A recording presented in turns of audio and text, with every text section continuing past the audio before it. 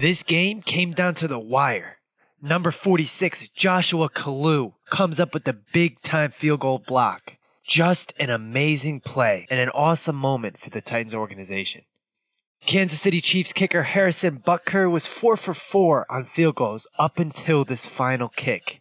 Now we have to go back to the tape to confirm, but Kalu must have been out there for those first four field goals, and he picked up some tendencies. So Kalu is lined up all the way to the left side of this field goal block team here.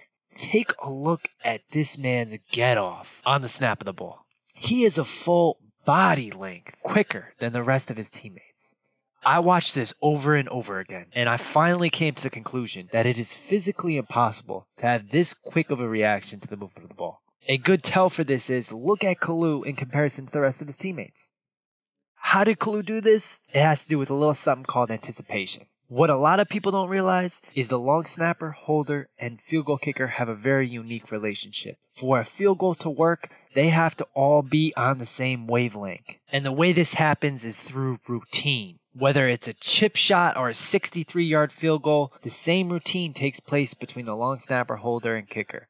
It usually goes something like the holder will wait for the kicker to set up. Then I'll look to the long snapper. He'll put a hand up. Then the long snapper snaps it when he's ready. Ball goes down. Kicker comes through. It's all about timing.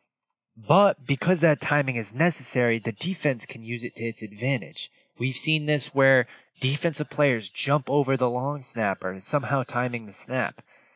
And this element of timing the snap is something that Kalu does brilliantly here to win the game single handedly for the Tennessee Titans.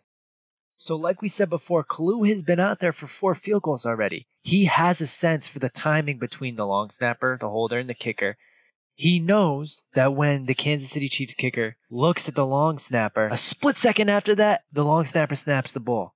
He times this up perfectly and gets an amazing jump. And this is just something to be proud about, whether you're Kalu or whether you're the Titans organization. I mean, you take a guy that's relatively unknown and single handedly has an impact on winning this game versus a great Chiefs team. And to be honest, this play was characteristic of the Tennessee Titans throughout this entire game. Just a group of guys playing really hard for their organization. And if nothing else, this is something to hang your hat on throughout the rest of this season, into next season. Getting a rep for the Titans are a team that plays hard, and that kind of rep will win you a lot of games. Thanks for tuning in for this one, guys. Till next week, take it easy.